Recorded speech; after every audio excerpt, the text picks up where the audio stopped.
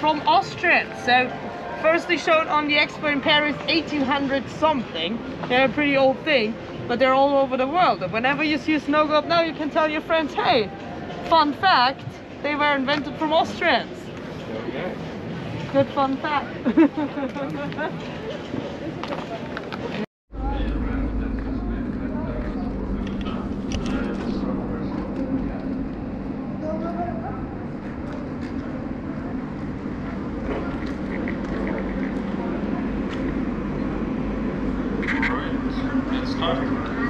So our pavilion is inspired from Arabic wind towers, and Arabic wind towers comes from Arabic architecture. The idea they are 6, 9, 12, and 15. Lastly, what you see here is an explanation about our logo. Our story makes sense because we have different stations that has to do with one of your senses. It's always an interaction between one of your senses and the pavilion. And you will find my colleagues at each station, they will explain to you what the station is about.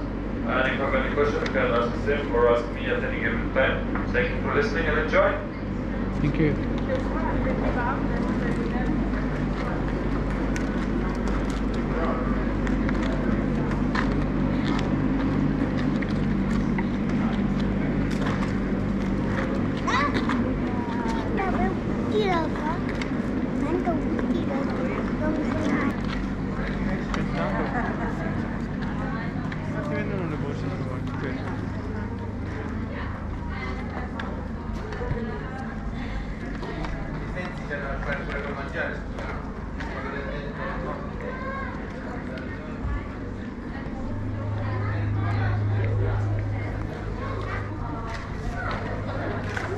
Jumper. This side.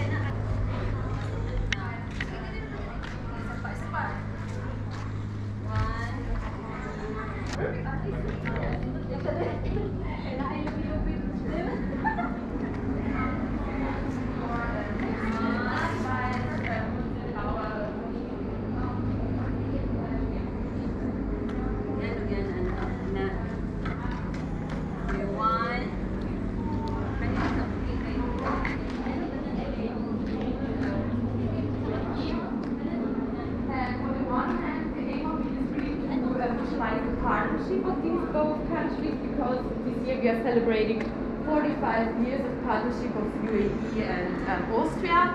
And outside the European Union, and UAE is the most important business partner of Austria, by the way.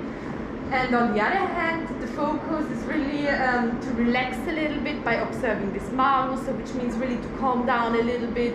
So how our whole pavilion is made of, really um, the concept um, to relax a little bit because at the whole expo you're getting so many impressions and information. And here you have the chance really to clear your mind a little bit and remember Austria in a different way. Yeah, actually, as you can see on the wall, this visualizes the air in here because the airflow plays an important role when it comes to the natural self-cooling system in here.